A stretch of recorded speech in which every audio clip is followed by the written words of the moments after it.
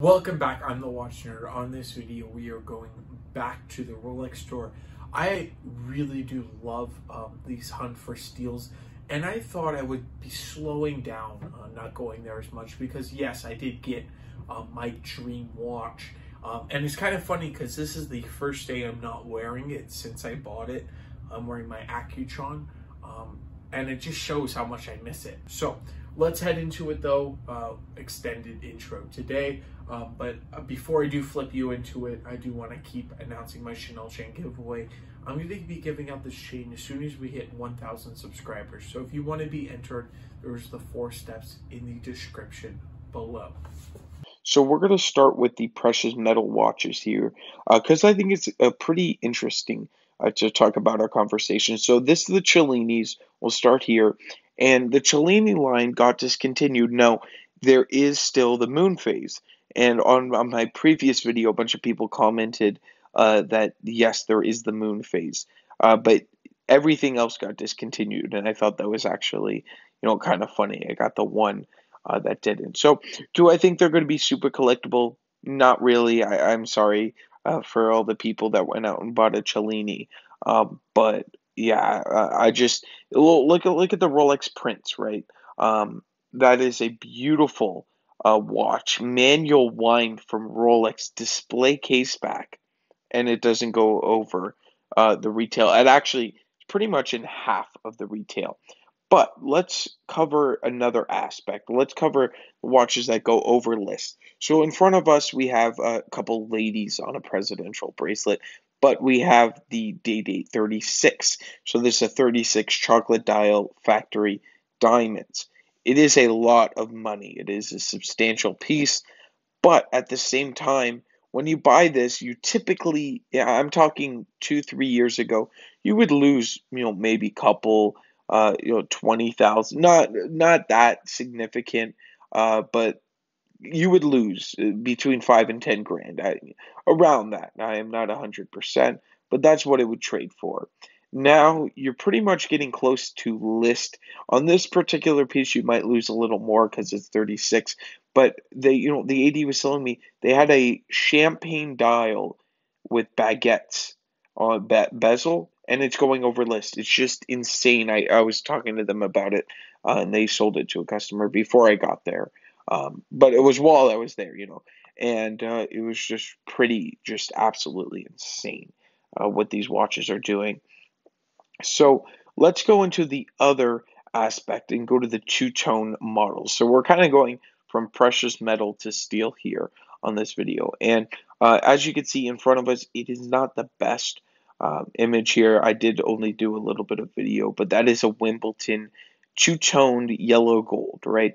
And that is 36 millimeters.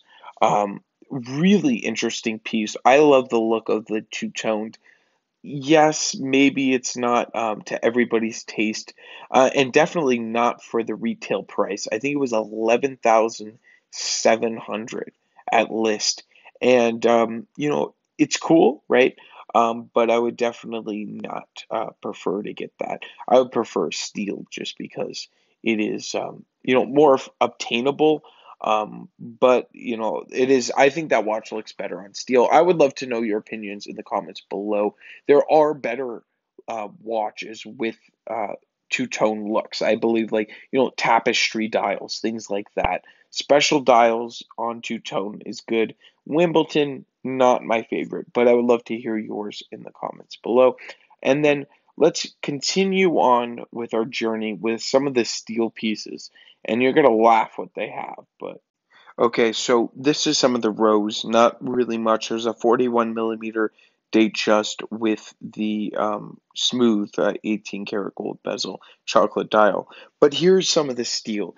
Uh, well, this is all of the stainless steel, and then we have another picture. But uh, so we have that blue. We'll get to in a minute. So we got two uh, ladies 31 Datejust fluted bezel on that first one, and that is an oyster bracelet, Jubilee factory diamonds on the other piece. But that that last one there is a 36 millimeter. Uh, it is diamond dial with blue. It is absolutely a gorgeous piece on Jubilee bracelet. Now it is expensive. It's got the Jubilee, it's got the fluted bezel, and the factory diamond uh, dial. But that combination, I don't mind as much with diamonds. I would love to know what do you think about diamonds? Do you not like them at all in watches? Because you know I'm almost to that point.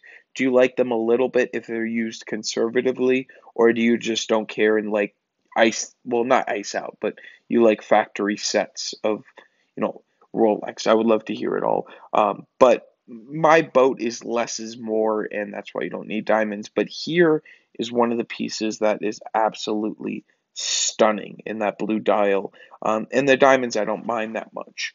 Uh, so, you know, if you don't want to be on a waiting list forever, this can be one of the options out there. So, when I said hilarious, this is what I'm talking about here. We have two, of course, ladies' uh, pieces pretty much you see them in any official dealer. So if you're a lady watching this, you're in luck. You can go to any AD and get any watch you want. Um, speaking about ladies' watches, they did sell uh, the Yachtmaster. I believe it was 37. Yeah, Yachtmaster 37. So, you know, they do do sell, um, and it doesn't just sit in the display case forever. That last one, though, that's pretty funny, right? Uh, if you were to buy a Datejust like this, uh, you obviously like diamonds, and uh, especially at retail, you must love the look of this piece. You know, it's up to you. It's all uh, matter of choice. But uh, let's just discuss the specs of it really quick.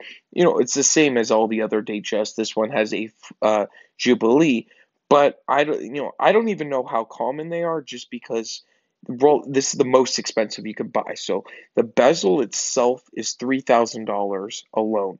It is eighteen karat gold, and of course you have diamonds all the way around. We have diamond indices on a mother of pearl dial, which is the most expensive dial they make in a stainless steel Rolex. Correct me if I'm wrong, um, but that I yeah, it is the most expensive. They were telling me there.